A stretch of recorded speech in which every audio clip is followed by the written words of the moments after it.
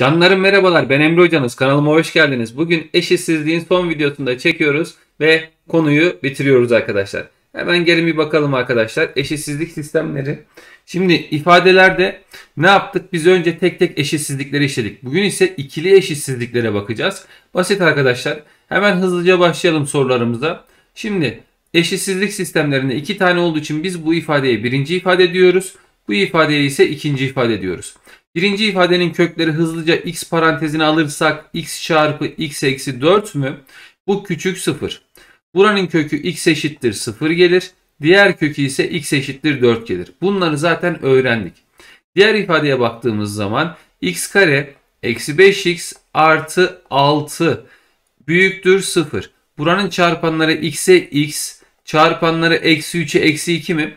x buradan 3 geldi, x buradan 2 geldi. Buraya kadar her şey normal. Şimdi burada iki tane ifade olduğu için biz iki tane satır çizeceğiz. Ve şuraya 1 yazacağız. Buraya 2 yazacağız. Ondan sonra yapacağımız işlem ise benim kaç köküm var? 1, 2, 3, 4. 4 köküm olduğu için 4 tane çizgi çizeceğim. Çizdim. Buraya kadar her şeyi biliyoruz zaten. Şimdi köklerimizi küçükten büyüğe yazacağız. En küçük kökümüz 0. Sonra 2. Sonra 3. En son 4. Tamam. Yine her şey normal. Bu ifadede birincinin kökleri burasıydı. Bak bura birincinin kökleri. Birincinin kökleri kimmiş? 0 ve 4. İkincinin kökleri kim? 2 ve 3. Şimdi İfadelerde eşitlik var mı? Birincide de yok, ikincide de yok. O yüzden bu halkaların içi boş. Bundan sonra işaretini bulacaksın. Bu artıyla başlıyor, bu artıyla başlıyor. Bak şimdi. Artı. Geldik buraya eksi. Bak burada kök yok. O yüzden yine eksi. Burada kök yok. O yüzden eksi. Kök var. O yüzden artı. Burası artıyla başladı. Yine artı. Çünkü bura kök değil. Burası eksi, burası artı, burası artı. Birincinin sıfırdan küçük olan yerlerini boya diyor. Boyadım. İkincinin sıfırdan büyük olduğu yerleri boya. Boyadık. Her ikisinde de boyalı olan sütunu seç diyor. Evet. Şurası bak. Her ikisinde de boyalı olan sütunu seçeceğim. O zaman cevabım sıfır açık. 2 açık. Değil mi? Bir de birleşim 3 açık 4 açık. Yani doğru cevap A şık. Mevzumuz bu şekilde. Basit mi? Bence basit. Çünkü biz bu ifadelerin hepsini öğrenmiştik. Şimdi ise sadece şu ikili tabloyu oluşturmayı öğreneceksiniz ve bunu yorumlamayı öğreneceksiniz. Geçtik bir sonraki soruya. Şimdi x kare eksi x eksi 6 büyük eşit 0 x artı 3 küçük 0 eşitsizlik sisteminin çözüm kümesinde bulunan en büyük negatif tam sayı kaçtır? Şimdi arkadaşlar şu ifade benim birinci ifadem olsun. Bu ifade ise ikinci ifadem olsun. Bunu tablosuz yapabiliriz. Çünkü şurası birinci dereceden. Bak bura birinci dereceden. Birinci dereceden ifadelerde o zaman burası x küçük eksi 3 gelir. Bu dursun. Tamam mı? Hiç ikili tablo yapmayalım. Tekli yapalım bunu. Onu öğreteyim size. x kare eksi x eksi 6 büyük eşit 0. Bunun çarpanları x'e x mi? Çarpımları eksi 6 olacağı için eksi 3'e 2 toplamlarda eksi 1 olacağı için böyle oldu. x buradan 3 geldi. x buradan eksi 2 geldi. Tamam canlarım. Şimdi burada hocam hop hemen çizgimizi alalım. Aldım. Sonra iki tane köküm var. Biri eksi 2 Diğeri de 3. Hocam niye ikili oluşturmadınız? Şurası bak ikinci derece. Şura birinci derece ya. Birinci derece olanlarda iki tane oluşturmanıza gerek yok. Yetiyor. Bir tane tablo yetiyor. Şöyle tek satırlık yetiyor. Şimdi ne yapacaksınız arkadaşım? Hemen ifadeye bakacaksınız. Kökler eksi 2 3 eşitlik olduğu için bu halkanın içi dolu. Bu halkanın içi dolu. İşaret artı ile başladı. Eksi gitti artı oldu. Benden büyük eşit olan yerleri istiyor. Burası, burası eşitlik de var. Tamam. Şimdi canlarım bakın soruda her ne kadar sen şu iki yeri boyasan da sorudaki kilit yer şurası. X'in eksi 3'ten küçük olması gerekiyor. O yüzden senin şuradaki ifaden çöp. Eksi 3'ten küçük olacak. Burada 4 yazsan 5 yazsan sağlamıyor. Bak x yerine 4 yaz aşağıyı sağlamıyor. Peki burada ise mesela eksi 2 sağlamıyor. O yüzden senin direkt şu ifadeyi sağlayan kısım burada x'in eksi 3'ten küçük olması. Çözüm kümesinde bulunan en büyük negatif tam sayıda kim? Eksi 4. İfade bu şekilde. Geçtim bir sonraki sorumuza. Eşitsizlik sisteminin çözüm kümesinde olmayan kaç tane doğal sayı vardır? Arkadaşlar hemen sistemi çözelim. Şu bizim birinci ifademiz olsun. Şurası bizim ikinci ifademiz olsun. Burada neye dikkat edeceğiz? Birincinin köklerini bulacağız. x kare artı 3x eksi 4 büyük eşit 0. x'e x yazdık. 4'e eksi 1 yazdık. Çarptık eksi 4 topladık 3 sağladı. x buradan eksi 4 geldi. x buradan artı 1 geldi. Bu birincisi. Geldik buraya. 4 eksi x kare küçük sıfırda karesi 4 olan sayı kimdi? 2 ve eksi 2 idi. Şimdi benim sistemim 2 tane sütundan oluşuyor. Çizdim ve şuraya geldim 1 yazacağım. Şuraya ise 2 yazacağım. 4 tane köküm var. 1, 2, 3, 4. Bu 4 kökün birincinin kökleri eksi 4'e 1. Hemen şunları bir yazalım küçükten büyüğe. Önce eksi 4. Sonra eksi 2. Sonra 1 ve en sonuncu kökünde 2. Birincinin kökleri eksi 4, 1. İçleri dolu. Çünkü eşitlik var. Geldin içini doldurdun. Geldin içini doldurdun. Peki eksi 2 ve 2 içleri boş. Sebep eşitlik yok. Birincinin işareti artı. Artı geldi. Yine artı, eksi, eksi, artı. İkincinin işareti ise x karenin önü eksi olduğu için eksi, artı, artı, eksi, eksi. Birincinin sıfırdan büyük ve eşit olduğu yer burası. İkincinin sıfırdan küçük olduğu yer neresi? Burası arkadaşlar bak. Anlaştık mı? Her ikisini boyadığımız sütun sağlanan kısım. Burası sağlandı. Burası sağlandı. Bak burası sağlanmıyor. Burası sağlanmıyor. Burası sağlanmıyor. O zaman bana çözüm kümesinde olmayan demek yani çarpı yerler demek. Kaç tane doğal sayı var? 0 var. 1 var. 2 var. 2'de niye? Çünkü içi boş. O zaman 3 tane doğal sayı için bu ifade sağlanmaz. Geçelim bir sonraki sorumuza. Evet bir grafik sorusu. fx'in küçük eşit 0, gx'in büyük eşit 0 eşitsizlik sisteminin çözüm kümesi aşağıdakilerden hangisidir? Arkadaşlar f'in köklerine bakalım. f'in kökleri x eksenini kestiği nokta sadece 4. g'nin köklerine bakalım. x eksenini kestiği nokta eksi 1 ve 4. 4'ten 2 tane geldiği zaman bu çift katlı kök olmaz. Çünkü bu f'in tablosu, f'in kökü, bu g'nin kökü. Bunlar birbirinden farklı. Şimdi ne yapacağız? Arkadaşlar 2 tane yine sütunumuzu çizeceğiz. Hemen şurayı kapattık. Şu üste f yazdık, alta g yazdık. Toplam 2 kök var. Biri eksi 1, diğeri de zaten 4. Birincinin kökü f'in kökü sadece 4 eşitlik olduğu için içi dolu. İkincinin kökü eksi 1 içleri dolu.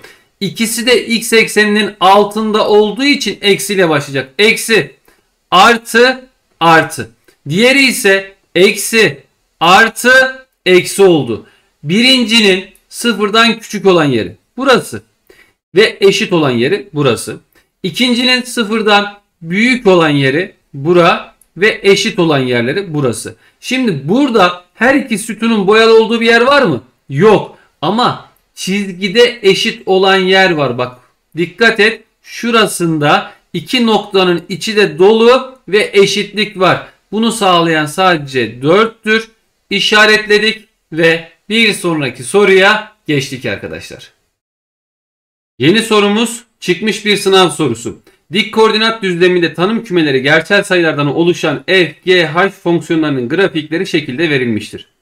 Buna göre x eleman eksi 2, 2 olmak üzere f, g, g, h eşitsizlik sisteminin çözüm kümesi aşağıdakilerden hangisi? Bunu normalde çözmek için 3 tane böyle çizgi çizeceğiz. F'i bulacağız, g'yi bulacağız, h'ı bulacağız. Sonra tekrardan bunların çarpımlarına bakacağız. Şimdi ben ne yapacağım size? Ben şunu yapacağım. Şu mavi böyle böyle kalın çizeyim ki rahatça görelim. Şu mavi olan. Tamam. Şunu kırmızı yapalım.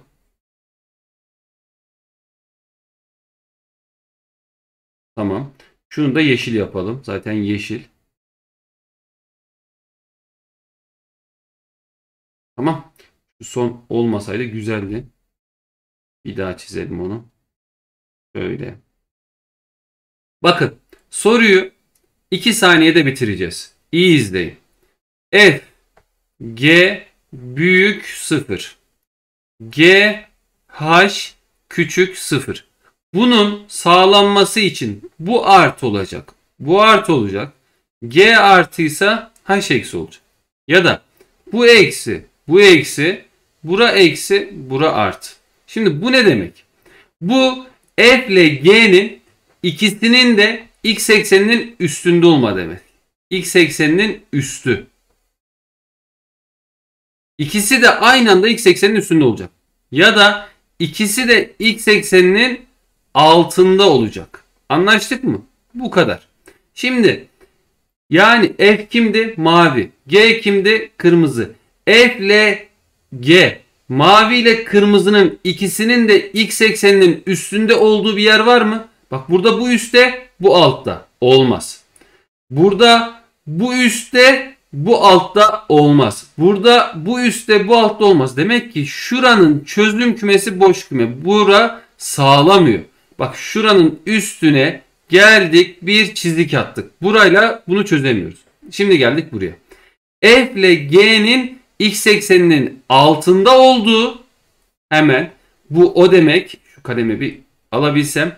Evet bu x eksenin altında. Bura alttaysa bu pozitif olduğu için bu ise x ekseninin üstünde olacak. Anlaştık mı? Aradığımız yer o. Şimdi mavi ile kırmızının x ekseninin altında olduğu yer bak. Eksi 2 ile eksi 1 arasında hem mavi hem kırmızı altta. Fakat yeşil yukarıda olması gerekiyor. Pozitif olacak. O zaman burada bir şey çıkmadı. E burada farkındaysanız altta üstte olmamış ama bak şuraya bakın 1 ile 2 arasına bakın bak 1 ile 2 arasına.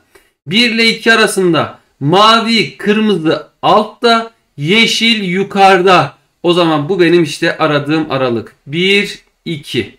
Bu kadar. Doğru cevap C şık. Hiç tablo oluşturmadım.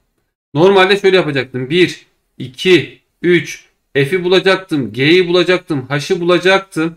Bunların köklerini bulacaktım. Hani bir önceki sorudaki gibi. Burası ondan sonra bunların çarpımlarına bakacaksın. Sonra tabloyu tekrardan yorumlayacaksın. Çok zordu. Ama bu şekilde düşünürseniz basit. Bir önceki soruda olur muydu? Evet olurdu. Tamam. Geldim buraya. Güzel bir not. Şimdi burada bilmemiz gereken birkaç tane ifade var. Ama ben bunları burada size anlatmayacağım. Burada sadece şuna bakacaksınız. Bak şurası. Diyor ki bir ikinci dereceden ifadenin mn aralığında bir kökü varsa fm çarpı fn küçük sıfırdır. Bak şu notu defterinize yazın. Ha, diğerleri de önemli ama burada bilmeniz gereken burası. Bir de şu ifadeyi de bileceksiniz.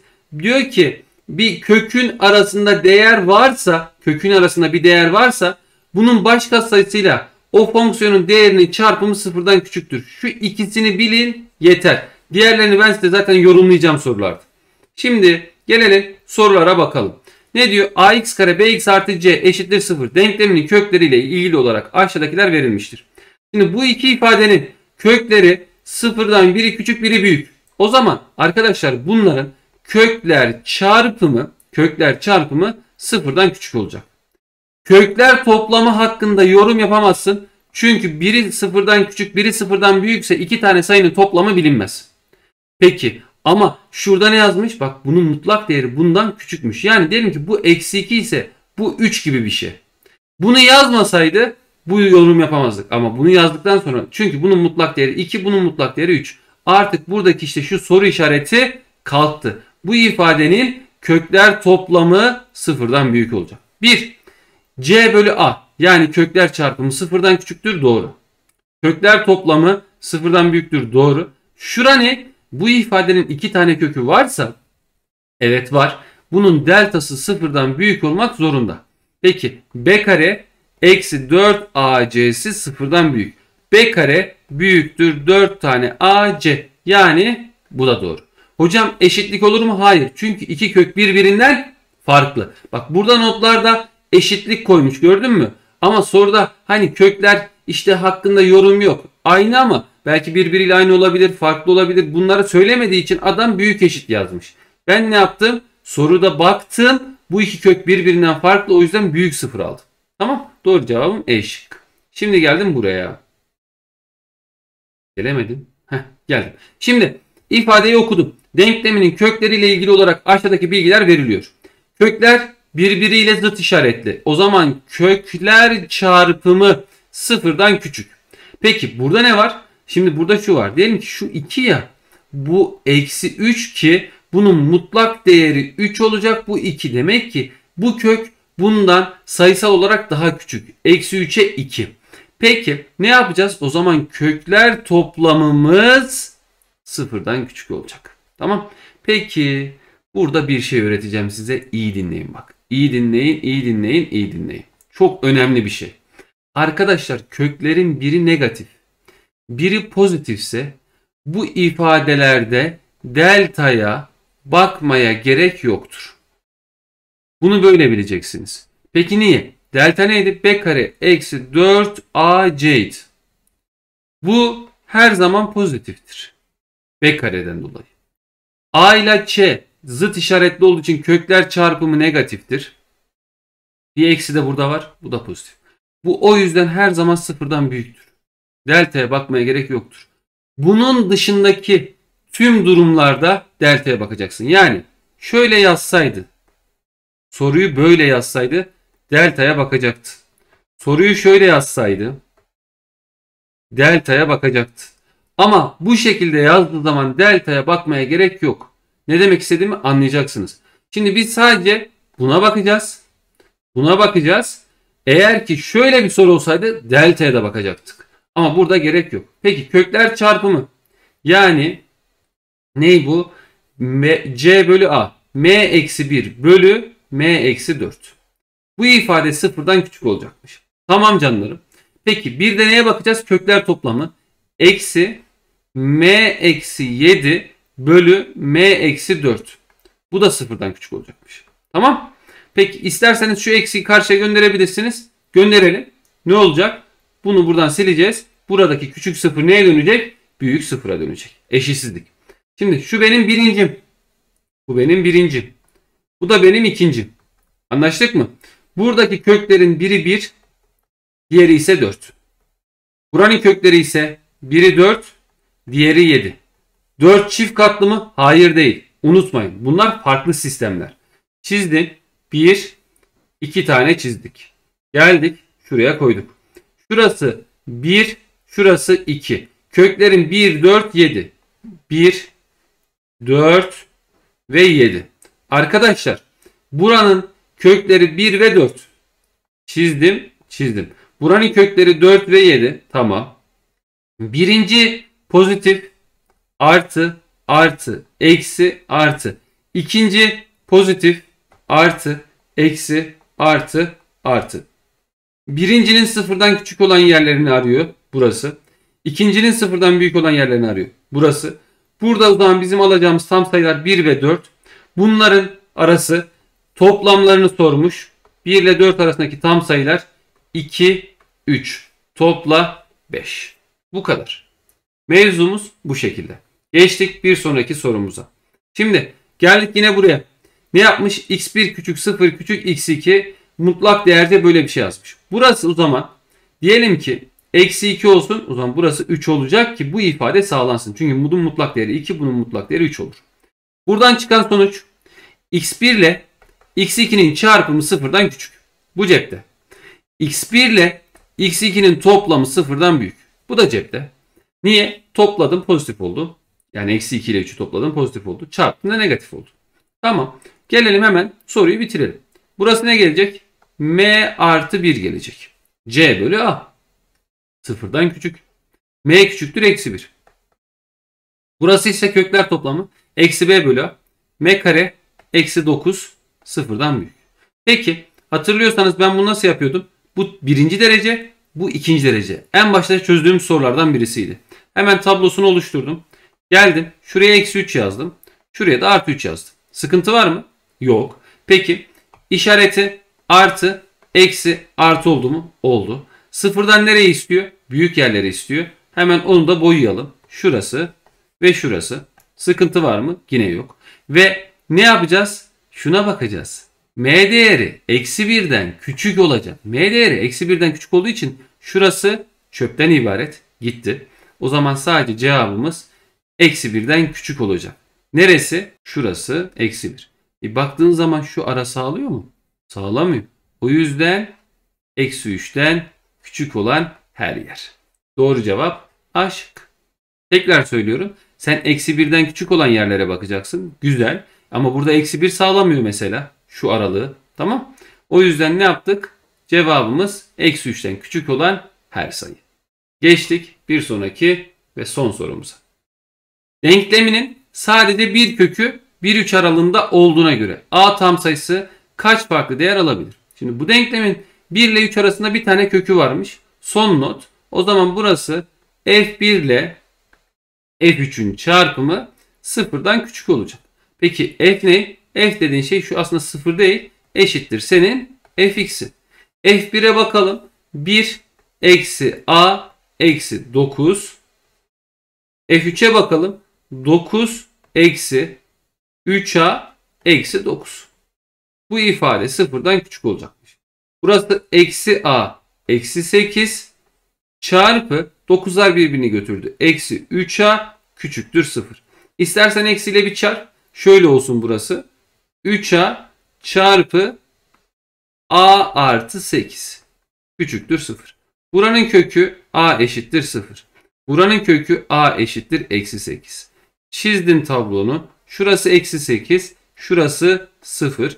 İşaret olarak neyle başlıyor? Artı, eksi, artı, içi boş, içi boş. O zaman kaç tane sayı alabilir? 0 ile eksi 8 arasında toplam kaç tane değer var? 8 eksi 0 eksi 1. Yani 7 tane değer var. Hatırlıyorsanız öğretmiştim. İkisinin de içi boşsa 1 çıkartıyordunuz 7 tane değer. Ya da şöyle yazacağım. Eksi 1, eksi 2, eksi 3, eksi 4, eksi 5, eksi 6, eksi 7. Kaç tane? 7 tane değer. Evet. Videomuzu bitirdik. Ve eşitsizlikler de bitti arkadaşlar. Elimden geldiğince bütün soru çeşitlerini her zamanki gibi göstermeye çalışıyorum. Eldiveni çıkaralım.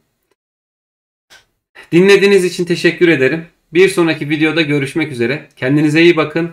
Hoşça kalın. Seviliyorsunuz arkadaşlar.